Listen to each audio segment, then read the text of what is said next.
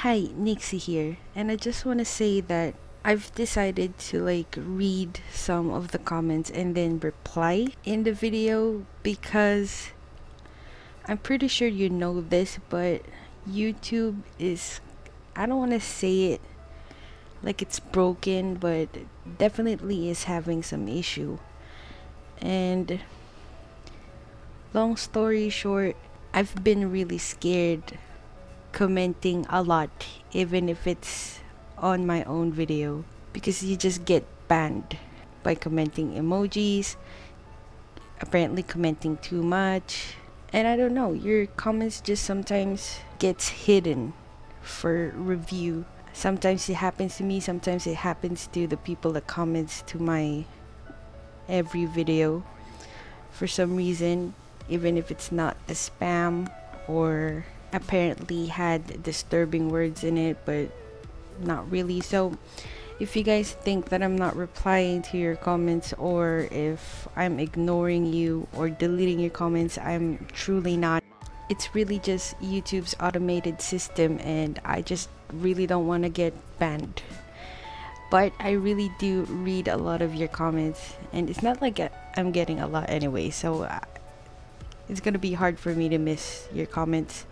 I'll probably miss the comments if people commented on some older videos. And that's very natural and normal. Um, just know that I read them all. So on my last video, a art adventure said, I love to watch you create. Your characters and poses are always so inspiring. I'm sorry you haven't been feeling well but to me, this is another amazing video. I think you deserve millions of subs. Oh, thank you so much.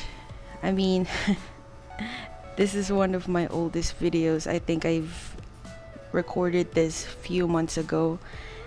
I'm not saying I improved drastically, but really, thank you so much. And if anyone deserves million subs and views, it's gonna be you. I mean, guys, this is also a shout out for a art adventure. Go check his channel out. He's got a lot of amazing videos. It's really entertaining and educational. But thanks again. Another commenter, Ana Velasco said, Love your art. Thank you so much. I really appreciate it. Really, I do. And thank you for watching my videos and that's it for comments. Um, for the people who's waiting for my review videos for the art secret brush and the sumi ink it will be coming next. So please watch out for those. So yeah about this painting self-portrait. I mean i don't usually draw myself. In fact it's so rare that if it crosses my mind I just do it. Because I'm when I see myself, of course I see myself. I look in the mirror. But when I see myself, it's not something that inspires me to draw. You know? So once in a blue moon, if I do feel like doing my self portrait, I just get on with it.